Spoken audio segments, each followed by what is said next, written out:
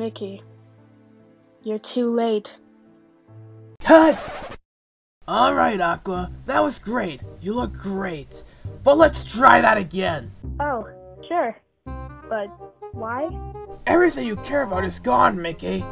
All but by abandoning you and kept you a secret from everyone. You were chasing phantoms of all the friends you've lost. Moment alone is torture. You hadn't had a thing to eat in over a decade, so you're probably a bit hungry. Then truly, that precious friend who forgot about you pops back into your life, and all you want to do is tell him how you how much you missed him, but instead, all those confusing pent-up emotions get you fired up.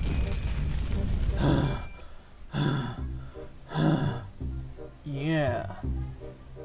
See where I'm going with that? Want to give it a go? Yes, let's do it. Okay, Aqua, from the top, just like we practiced. And action! Mickey, you finally came back for me. I'm so flattered, but you're too late! Oh gosh! Such anguish, such despair, such grief and heartache. We're gonna need another take. Mickey just wet himself.